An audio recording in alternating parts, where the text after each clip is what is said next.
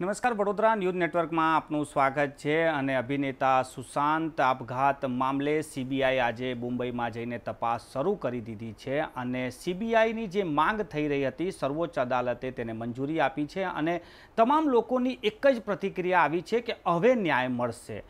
પત્રકાર તરીકે એવો પણ સવાલ થાય છે કે લોકોની આવી કેમ અપેક્ષાઓ છે? કેમ કે જો સીબીઆઈનો આપણે ટ્રેક રેકોર્ડ જોવા જઈએ તો કંઈક સારો ટ્રેક રેકોર્ડ નથી, એ પણ હાઈ પ્રોફાઇલ મામલામાં આરુષી હત્યાકાંડ હોય કે ગુજરાતનો સૌથી ચકચારી સોરાબુદ્દીન એન્કાઉન્ટર હોય, સીબીઆઈએ જરૂર કેસ કર્યો, આરોપીને ઝડપી પાડ્યા, પરંતુ તેમના સાક્ષી ફરી જવાના કારણે આરોપી છૂટી ગયા. સોરાબુદ્દીન મામલે અત્યારે એવું તો કહેવાય છે કે સોરાબુદ્દીનની હત્યા થઈ હતી, પરંતુ કોને કરી તે સીબીઆઈને અત્યારે પણ ખબર નથી અને તે કેસ પણ ચાલુ. એવા તો અનેક મામલાઓ છે. અમે સીબીઆઈની કામગીરી પર કોઈ સવાલ ઊભા નથી કરતા, એને કોઈ ડીમોટિવેટ પણ નથી કરતા. પરંતુ જ્યારે સમગ્ર દેશમાં સીબીઆઈની વાત ચાલે છે, ત્યારે અમે એક ટ્રેક રેકોર્ડ કાઢ્યો છે અને આ મુદ્દા ખાસ ચર્ચા કરવા માટે આપણી સાથે વરિષ્ઠ પત્રકાર, વરિષ્ઠ એડવોકેટ અને વડોદરાના જાણીતા તેમની અવાજ જ ઓળખાણ છે એવા જીતુભાઈ પંડ્યા આપણી સાથે જોડાયા છે. સાહેબ, તમારું પહેલાં તો સ્વાગત છે. કાલે જે ઘટના બની જેવ સર્વોચ્ચ અદાલતે આદેશ આપ્યા, તમામ લોકોના ટ્વીટ હતા કે અબ ન્યાય મિલેગા, હવે ન્યાય મળશે. સીબીઆઈનો ટ્રેક રેકોર્ડ જોતા હાઈ પ્રોફાઇલ મામલામાં કંઈક સારું નથી. શું કહેશો? બે વાત કરવી છે. પહેલી વાત તો સુશાંતની આત્મહત્યા અંગે કરવી છે. એને કોઈ નોટ છોડીને નથી ગયો. એટલે કશું લખીને નથી ગયો કે કેમ આત્મહત્યા કરે છે. માણસ ગમે ત્યારે ગમે તે સ્ટેજે અને મોટે ભાગે દરેકના જિંદગીમાં ક્યારેક એવું ક્ષણ આવે છે કે હું આત્મહત્યા કરી લઉં. આ એક વાત છે. એણે એણે કશું કહ્યું નથી. એણે કોઈની સામે એલિગેશન કર્યું નથી. હવે એના સાથીદારો એલિગેશન કરી રહ્યા છે કે એમની, એનો રોલ છીનવાઈ ગયો, એની જોડે આટલું ખરાબ થયું, એની જોડે આમ ખરાબ થયું. કરણ જુહરે આમ કર્યું ને ફલાણાએ આમ કર્યું. તમે જે ઇન્ડસ્ટ્રીમાં આવો છો, એ ઇન્ડસ્ટ્રીમાં જે કંઈ દાવપેચો છે એ તમારી જોડે પણ થવાના છે. દિલીપ કુમાર જોડે પણ થયા હતા, રાજેન્દ્ર કુમાર જોડે પણ થયા હતા, અને રફી સાહેબ જોડે પણ થયા. તો એને કારણે જો કોઈ માણસ આત્મહત્યા કરી લેતું હોય, તો હું નથી માનતો કે એનો રોલ કોઈએ છીનવી લીધો અથવા એને બદલી નાખ્યા. હજારો દાખલા છે કે ચાર રીલ, પાંચ રીલ તૈયાર થયા પછી પણ હીરો હિરોઈન બદલી નાખવામાં આવ્યા હોય. તો એના માટે કોઈને જવાબદાર ગણી શકાય. સુશાંતની પોતાની માનસિક નબળાઈઓ જ આના માટે જવાબદાર છે. એટલે આની તપાસ જે થઈ રહી છે એની સામે જ મારો પહેલો વાંધો છે. કે કોઈ માણસ આત્મહત્યા કરી લે એટલે એના માટે કોઈને બી પકડીને ફાંસી ચડાવો એ વાત ખોટી છે. બીજી વાત કે સુશાંતની આત્મહત્યાને માડ મહિનો કેટલા થયા છે? મહિનો દિવસ પચાસ દિવસ થયા. મારી પાસે અહીં એક ફાઇલ પડી છે. લગભગ બે હજાર પાનાની ફાઇલ છે. વડોદરામાં એક ખૂન થયું. હર્ષ પટેલ કરીને એક બાવીસ વર્ષના કોલેજિયન છોકરાનું ખૂન થયું. એમાં ડ્રગ માફિયા સંડોવાયેલા. એની તપાસ થઈ. સાવ ચાર નાના પેદાઓને પકડીને પોલીસે કેસ પૂરો કર્યો. કોર્ટમાં કેસ ચાલવા પર આવ્યો. અને ત્યારે એના માતૃશ્રી માતા મારી પાસે આવ્યા, અમિતાબેન પટેલ. અને કીધું કે આ બધા બોગસ છે, હું એમની વિરુદ્ધ જુબાની શું આપું? કેસમાં એમને સમન્સ બજી ગયેલા, સાક્ષી સમન્સ, કે તમારે તમારા છોકરાના હત્યારાઓના કેસમાં સાક્ષી આપવાનો છે. એટલે મેં અઠ્યાવીસ સાતસો બત્રીસ બે હજાર સોળ નંબરથી ગુજરાત હાઈકોર્ટમાં પિટિશન કરી છે. સોળ, બે હજાર સોળ. હું એટલે તમને કહેવા માગું છું કે આ અમિતાબેનનો છોકરો પણ ડ્રગ માફિયાઓએ મારી નાખ્યો છે, રેસી નાખ્યો છે, અને ખોટા લોકોને પોલીસે પકડ્યા છે. એના માટે મેં બે હજાર સોળમાં ગુજરાત હાઈકોર્ટમાં પિટિશન કરી છે. અને સોળથી આ વીસ. હજુ સુધી ગુજરાત હાઈકોર્ટને આ પિટિશન સાંભળવાની ફુરસદ નથી મળી. પાંચ વર્ષ થયા. અને ખૂનને તો, ખૂન થયો તો આઠ વર્ષ સાત વર્ષ થવા આવ્યા અને એક હીરો છે એક માણસ. કોઈક બે ચાર પિક્ચરો કર્યા છે. બહુ સાચું કહું તો એ ગુજરી ગયા ત્યાં સુધી મને એમના નામની ખબર નથી. પણ એક હીરો છે, માટે સુપ્રીમ કોર્ટ પંદર દાડામાં હુકમ કરી દે છે. અને આ હર્ષ પટેલ છે, બાવીસ વર્ષનો છે, સુશાંત કરતાં પણ નાનો છે. માનો એકલો એક છોકરો છે, એની તપાસની સુનાવણી ગુજરાત હાઈકોર્ટ પાંચ વર્ષ સુધી નથી કરી શકતી. અને આ કેસમાં પંદર દિવસમાં સુપ્રીમ કોર્ટ નવરી પડી જાય છે. કે આની આ સીબીઆઈને તપાસ આપું છું. મારી માગણી પણ સીબીઆઈને તપાસ સોંપવાની છે. અથવા ગુજરાતના મોટા પોલીસ અધિકારીને તપાસ સોંપવાની છે. એટલે દુઃખ થાય છે કે આ દેશમાં તમે વીઆઈપી નથી વેરી વીઆઈપી નથી, તો તમારા માટે કોર્ટો નવરી નથી. સુશાંતની હત્યાની તપાસ માટે પંદર દિવસમાં ઓર્ડર થયો. ઘણો આવકારદાયક છે. તો પછી આ હર્ષ પટેલના હત્યા કેસમાં હત્યા છે, ખુલ્લે ખુલ્લી હત્યા છે, પોલીસ પણ માને છે. આ તો આત્મહત્યા છે, કેમ મરી ગયો તો ભગવાન જાણે મરનારો જાણે. પણ એ તો ખુલ્લી હત્યા થઈ છે. તો આ દેશનું ન્યાયતંત્ર છે કે જ્યાં હત્યા થઈ છે, ત્યાં એની સુનાવણી પાંચ વર્ષ સુધી ટલ્લે રાખે છે. કેટલી વાર હું કોર્ટમાં ધક્કા ખાતા દરેક વખતે તારીખ લઈને પાછું આવું છું. એટલે બીજું દુઃખ આ છે કે સામાન્ય માણસો માટે જુદા નિયમો છે અને વેરી વીઆઈપીઓ માટે જુદા નિયમો છે. નર્મદા યોજના માટે સુનાવણી કરતા આ સુપ્રીમ કોર્ટને દસ વર્ષ લાગ્યા. ઓગણીસો બાણુંમાં મેઘા પાટકરે સુપ્રીમ કોર્ટમાં અરજી કરી કે આ બે પાંચ હજાર વિસ્થાપિતોને ન્યાય નથી થયો.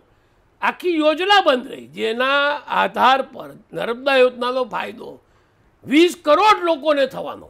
દેશની પાંચમા ભાગની વસ્તીને થવાનો. એમાં એને દસ વર્ષ લાગ્યા. અને ટાટાની અરજી કે નીરા રાડિયાની ટેપ કોઈએ વગાડવી નહીં, એમાં એક અઠવાડિયામાં ઓર્ડર થઈ ગયો. કારણ કે ટાટા હતા. બસ સાહેબ, આ જે તમે કહો છો કે સર્વોચ્ચ અદાલતે હુકમ કરી દીધો, પરંતુ આ તો ચલો તમારો આ એક સાચો વસ્તુ છે કે કોઈ કેસમાં જલ્દી સુનાવણી થાય છે કોઈ કેસમાં બહુ જ લાંબો વેરી વીઆઈપી કેસોમાં જલ્દી સુનાવણી થાય છે. સાહેબ આ સીબીઆઈ જે તપાસ હવે કરી રહી છે વેરી વીઆઈપી જે સુશાંત છે અત્યારે એના પહેલા બી સો જેટલા લોકોથી તો મુંબઈ પોલીસ પૂછી ચૂકી છે ઈડી અલગથી એક તપાસ કરી રહી છે. સીબીઆઈ હવે જે તપાસ કરી રહી છે as a advocate as a પત્રકાર તમે આ બધું બહુ જોયું હશે શું મેળવી લેશે? સીબીઆઈ નું મુખ્ય કામ ભ્રષ્ટાચારની તપાસ કરવાનું છે સરકારી તંત્રમાં. અને આવા વેરી વીઆઈપી અથવા જે કેસોમાં લોકલ પોલીસ પહોંચી વળે એમ નથી.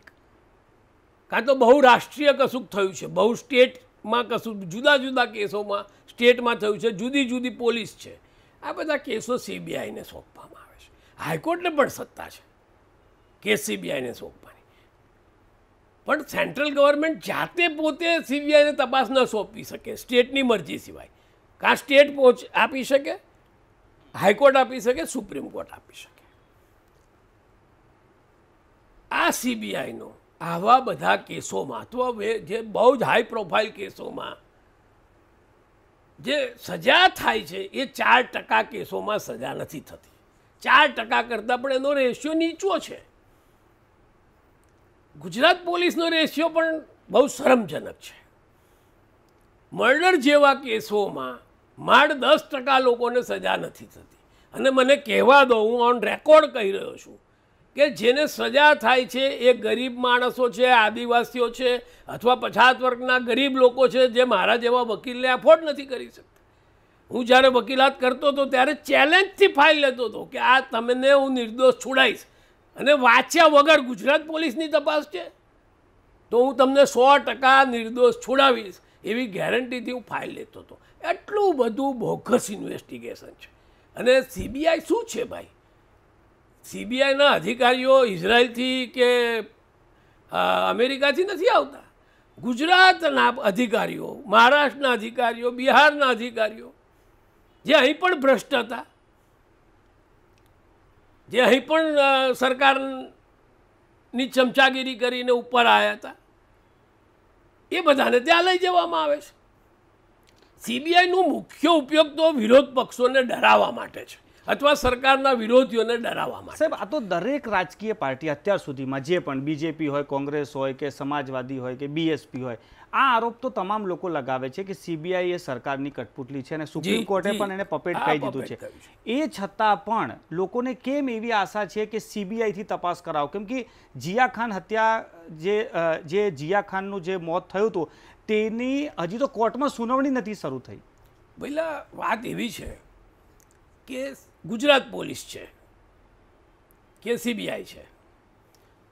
બંનેને જે સત્તા મળી છે એ ક્રિમિનલ પ્રોસિજર કોડ અને પોલીસ મેન્યુઅલથી સત્તા મળે છે. એને કોઈ વધારાની સત્તા નથી. મને વડોદરાની પોલીસ કોર્ટમાં રજૂ કર્યા વગર ચોવીસ કલાક રાખી શકે, તો સીબીઆઈ પચીસ કલાક ન રાખી શકે. અને આના આ જ અધિકારીઓ ત્યાં છે. એ જ ભ્રષ્ટાચાર ત્યાં છે. મોટા પાયે છે, મોટા ઉપાડે છે. સીબીઆઈ વિશે તમે પૂછ્યું કે એમ એનો રેશિયો મારો મેં હું એક સીબીઆઈ સામે કેસ લડ્યો. મારી સામે પ્રોસિક્યુશનમાં સીબીઆઈ હતી. પંજાબના બે ત્રાસવાદીઓ. એ પાકિસ્તાનની સરહદેથી ટ્રકમાં માલ ભરી અને ભરૂચના એક ગામડામાં એમણે દારૂ ગોળો રાખ્યો. સાવ નાનકડું ગામ હતું, કોઈને શંકાઈ જાય નહીં. બીજી વાર એ લોકો માલ લેવા પાકિસ્તાન સરહદે ગયા. અને એમાં રોકેટ લોન્ચર આવવાના હતા. અને એમનું ટાર્ગેટ હતું જીએનએફસી. કે હાઈવે પર રોકેટ લોન્ચર રાખી અને જીએનએફસી ઉડાડી દેવું. બીજી વાર જ્યારે એ લોકો પાકિસ્તાનથી સપ્લાય લેવા ગયા સરહદ પર, ત્યારે છેલ્લા ગામે, ગામથી એ પંદર સત્તર કિલોમીટર દૂર ટ્રક ઊભી રાખી અને રિક્ષામાં ત્યાં પહોંચ્યા. ત્યાં એ દિવસે ખૂબ હલચલ હતી મિલિટરીની. એટલે એમને થયું કે આજે કંઈક વારો ફાવશે નહીં. એટલે રિક્ષા સ્ટેન્ડે ગયા. રિક્ષાવાળાને કીધું કે મને આ ગામડે છોડ દે, જે વીસ કિલોમીટર હતું. એટલે પેલાએ કીધું કે બેસો, બીજા છ જણા આવે એટલે આપણે જઈએ. એટલે પેલા કીધું કેટલા થશે તો અમને બેને જ લઈ જા. પેલા કીધું આઠસો રૂપિયા. તો એમણે કીધું ભલે આઠસો રૂપિયા, પણ અમને બેને લઈને તું અહીંથી નીકળ. અનફોર્ચ્યુનેટલી પેલા લોકો માટે, અને દેશ માટે ફોર્ચ્યુનેટલી, કે પેલાનો બાપ એ ત્યાં બીએસએફનો ઓફિસર હતો, આ રિક્ષાવાળાનો. એણે ઘર પાસે રિક્ષા ઊભી રાખીને કીધું, હું ઘેરથી આવ્યો ઘેરથી ફોન કરીને બાપાને કીધું કે, આ બે જણને લઈ જાઉં છું. શંકાસ્પદ છે, સરદારજી છે. અને વીસ કિલોમીટર જવાના મને આઠસો રૂપિયા આપ્યા અને કીધું, હમણાં હમણાં લઈ લે. એમને આતર્યા પકડવામાં આવ્યા ભરૂચ આવીને માલ સામાન કબજે લીધો. કેટલી એકે ફોર્ટી સેવનને કેટલો બધો દારૂગોળો હતો. એ કેસ રાજસ્થાન ચાલી ગયો. છેલ્લે એવું આવ્યું કે ભાઈ માલ સામાન ભરૂચથી પકડાયો છે માટે આ કેસ અહીંની કોર્ટ નહીં, ભરૂચ ચલાવે. આ કેસ ભરૂચ મારી પાસે આવ્યો. સાહેબ, આ સીબીઆઈની હોશિયારી જુઓ. આ માણસની ધરપકડ થઈ હતી એના એક મહિના પહેલાંનું. એનું કન્ફેશન સ્ટેટમેન્ટ ડીએસપીએ નોંધેલું ડીસીપીએ તારીખ નાખવાની અક્કલ નથી ડીસીપી પાસમાં સીબીઆઈના જે દાડે પકડાયો એના એક મહિના પહેલાંની તારીખ એણે કન્ફેશનમાં નાખી અને મેં ખાલી સાત સવાલ પૂછ્યા છે આખા કેસમાં. પરમાર સાહેબ કરીને બહુ વિદ્વાન જજ હતા. મેં કીધું, ભાઈ આ માણસ આ તારીખે પકડાયો ને તમે એને એક મહિના પહેલાં સ્ટેટમેન્ટ લઈ લીધું. પકડાયા પહેલાં. મને સાહેબે આગળ પૂછવા ના દીધું જીતુભાઈ એની નોકરી જશે. ના પૂછશો. હવે આ સીબીઆઈ છે. જેની આપણને આટલી બધી ધાક છે. આવી ભૂલ તો કદાચ ગુજરાત પોલીસે ના કરી હોત. અને ટાળા લાગેલું. એટલે એમાં સ્ટેટમેન્ટ છે એડમિસેબલ હતું. મને નડે એવી એક જ વસ્તુ હતી કે આ બેનું કન્ફેશન હતું કે અમે આવું આવું કર્યું છે. પણ એમાં એક મહિના પહેલાંની તારીખ નાખેલી. તો સીબીઆઈ કંઈ બહુ જ હોશિયાર છે, બહુ જ સુંદર તપાસ થઈ જાય છે, પણ એક દિલને તસલ્લી થાય છે. દિલીપ કુમારના પિક્ચરો પણ નિષ્ફળ ગયા. પણ જેણે પણ દિલીપ કુમારને હીરો લીધો એને એવી એક તસલ્લી હતી કે મારા પિક્ચરમાં દિલીપ કુમાર છે, ચાલી જશે, ન ચાલે. સાહેબ, તમારો જે અત્યાર સુધીમાં એક્સપિરિયન્સ છે, સુશાંતની ડેડ બોડી મળી હતી લટકેલી હાલતમાં. ત્યારબાદ એને એફએસએલ પણ થયું. પીએમ એવું કીધું કે સુસાઇડ જ છે. ત્યાર પછી એક નવો વળાંક આવ્યો કે એને કોઈએ પ્રેરિત કર્યો હશે. પછી એક નવો વિચાર આવ્યો કે ઈડીમાં માપ કેમ કે પૈસાનો લો- મામલો હતો. એની ગર્લફ્રેન્ડે પૈસા લીધા. હવે સીબીઆઈ જ્યારે બોમ્બે આજે ગઈ છે તમારા અનુભવ પ્રમાણે એ કઈ લાઈન પર તપાસ કરશે? સાહેબ આમાં કોઈ લાઈન નથી. આંધળાનો ગોળીબાર હોય છે. પોલીસ જ્યારે કોઈ પણ ક્રાઇમ સ્થળે પહોંચે છે, ત્યારે પોલીસે આંખે પાટા બાંધ્યા છે. કોર્ટે નહીં, પહેલાં તો પોલીસ, કારણ કે એને કશી ખબર નથી કે આમાં શું છે. આ બધામાં શું થાય છે, એનો એક નાનકડો દાખલો આપો. નવનિર્માણ વખતે ગાંધીનગર ગૃહની સામે એક સાવલ વોચ કંપની કરીને ઘડિયાળની દુકાન તૂટી. એ વખતના રાવપુરાના પોલીસ સ્ટાફે બાજવાડામાં ઘરે ઘરે જઈને એમ કહ્યું કે ભાઈ આ ઘડિયાળ લા, બતાડો, ઘરમાં કેટલી ઘડિયાળો છે? હવે આના બિલ લાવો. બિલ નથી તો કે બસ આ સાવલ વોચ કંપનીની ચોરીની ઘડિયાળ છે, ચલો બાપને બી લઈ લો, છોકરાને બી લઈ લો. પેલો કે સાહેબ, જવા દો, આ તો પણ આમ છે તો કે લાવો પાંચસો રૂપિયા, લાવો હજાર રૂપિયા. બોતેરમાં પણ પોલીસ આ ધંધા કરતી હતી. આ જ ધંધો આમાં થવાનો છે.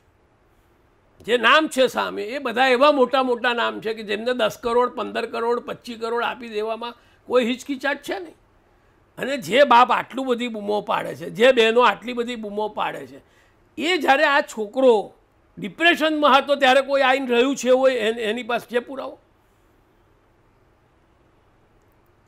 કોઈ આવ્યું એની પાસે રહ્યું? અને બીજું કે ભાઈ આજે મારી ગર્લફ્રેન્ડ છે, હું એને કાર્ડ આપી રાખું, મારા મારા એકાઉન્ટનું કાર્ડ આપી રાખું છું. ત્યારે એ ઓબ્વિયસ છે કે એ પૈસા ઉપાડે છે, મારી મરજીથી ઉપાડે છે. મને તો એ જ નથી સમજ પડતો કે મને કોઈ એમનું, માને આદિત્ય બિરલા બોલાવીને એનું ક્રેડિટ કાર્ડ આપે ને કે જીતુભાઈ પૈસા વાપરો અને પછી મારી પર કેસ થાય કે આદિત્ય બિરલાના તમે પચીસ કરોડ વાપરી કાઢ્યા. એના જેવી વાત છે. એને ખોટી સહી કરી. એની બહેનપણીએ ખોટી સહી કરીને પૈસા ઉપાડ્યા છે. એના મરી ગયા પછી પૈસા ઉપાડ્યા છે. તો એ ગુનેગાર છે. પણ એને જ્યારે ક્રેડિટ કાર્ડ આપી રાખ્યું છે અને સત્તા આપી રાખી છે. મને તો આખા સુશાંત કેસમાં ખરેખર દયા આવે છે કે શેની તપાસ થઈ રહી છે. પણ સાહેબ આજે સીબીઆઈ જે રીતે એરપોર્ટ પર ગઈ ત્યારથી જ મીડિયા એને ફોલો કરી રહ્યું છે કે પહોંચી ગઈ ઉતરી ગઈ મીડિયા ટ્રાયલો છે ભઈલા. મીડિયા ટ્રાયલો છે. હિસાબો સેટ થઈ રહ્યા છે. આ આખી વાતને ચગાવવાનો સેન્ટ્રલ ગવર્મેન્ટનો આદેશ છે મીડિયાઓને. કારણ કે એમાં મહારાષ્ટ્રના બળવાખોર મુખ્યમંત્રી એમની વિરુદ્ધ સામે પડીને મુખ્યમંત્રી થયેલા જે દશા ચીમંતભાઈની ઇન્દિરાએ કરી. ચિમનભાઈ ઇન્દિરાની ઈચ્છા વિરુદ્ધ મુખ્યમંત્રી થયા અને નવનિર્માણ થયું. એમ આ કેસ મોદીજીના હાથમાં આવી ગયો છે. એટલે બળવાખોર બાપને સીધો કરવા, મુખ્યમંત્રીને સીધો કરવા, આમાં એનું નામ ઇન્વોલ્વ થયું છે. માટે આ વાળની ખાલ કાઢવામાં આવે છે. એટલે આમાં આ આમાં આ બધું કવર બી કરવું, ખૂબ બતાડવું, એ બધું પણ પોલિટિકલી ગેમ છે. ખૂબ ખૂબ આભાર સાહેબ. તમે આજ સુંદર માહિતી આપી હતા જીતુભાઈ પંડ્યા અને તેમની જે વાતો હતી તે ઘણી બધી માહિતી કહી જાય છે અને સીબીઆઈ એક તપાસ એજન્સી છે જે આ કેસની હવે તપાસ કરશે, પરંતુ અમારો સવાલ એ છે કે કાલ સાંજથી જે રીતે એક મારો ચાલ્યો છે કે સીબીઆઈને તપાસ સોંપી દીધી છે, સીબીઆઈને તપાસ સોંપી દીધી છે, ત્યારે સીબીઆઈ કઈ પ્રકારની તપાસ એવી કરશે કે આમાં ન્યાય મળી જશે તે સૌથી મોટો સવાલ છે, પરંતુ એનો ટ્રેક રેકોર્ડ જોતા પૂરેપૂરો ન્યાય અને એ બી જલ્દી ન્યાય, જલ્દીથી મળી જાય તેવા કોઈ અણસાર લાગતા નથી, પરંતુ વરિષ્ઠ એડવોકેટ અને પત્રકારનું માનીએ તો આ હવે એક પોલિટિકલ કેસ પણ બની ગયો છે. એક સરકાર બીજા સરકારના મુખ્યમંત્રીને પરેશાન કરવા માટે પણ આ બધું કરતી હોય તેવું પણ લોકો ચર્ચા કરી રહ્યા છે.